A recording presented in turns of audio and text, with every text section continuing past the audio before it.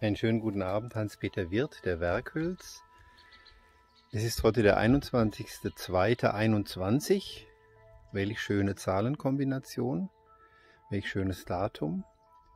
Ich bin hier an einem schönen Ort mit Blick auf den Schwarzwald. Man kann das im Hintergrund sehen. Schwarzwaldberge, sonnenbeschienen.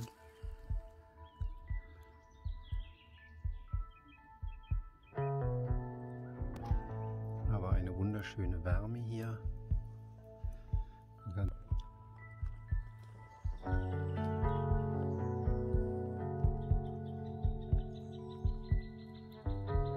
Und es sind, wie gesagt, für mich eigentlich Übungen, weil ich ausprobieren möchte, was kann man mit dem Holz, mit den Formen natürlich immer,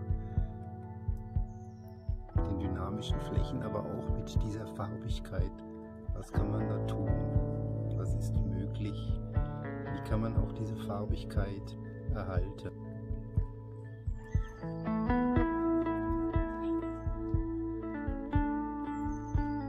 Und hier mit den Motiven dieses Holunderbusches,